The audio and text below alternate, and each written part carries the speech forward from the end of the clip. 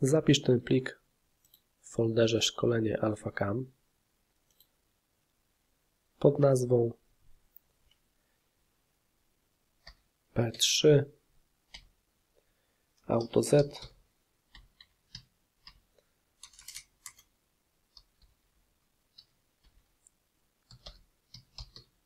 różne głębokości. OK. OK.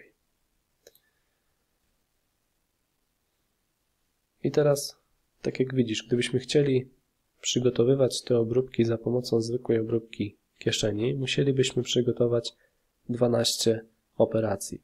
Dzięki poziomom Z ustawiliśmy górny poziom Z geometrii i głębokość kieszeni na geometrii i te wartości zostały odczytane do strategii obróbkowej i dzięki temu mogliśmy przygotować obróbkę 12 kieszeni o różnych głębokościach w ramach jednej operacji.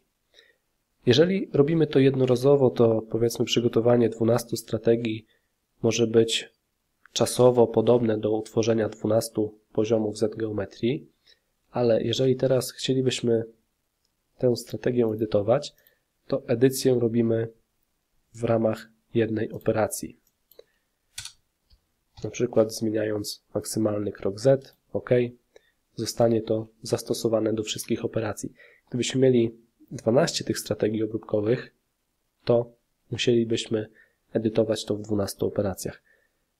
Także warto na początku popracować nad geometrią, utworzyć poziomy Z geometrii, a później wykorzystywać strategię obróbek AutoZ. W dalszej części kursu będziemy korzystali z tych geometrii i zobaczysz kolejne możliwości, kolejne zalety, jakie dają nam poziomy Z geometrii.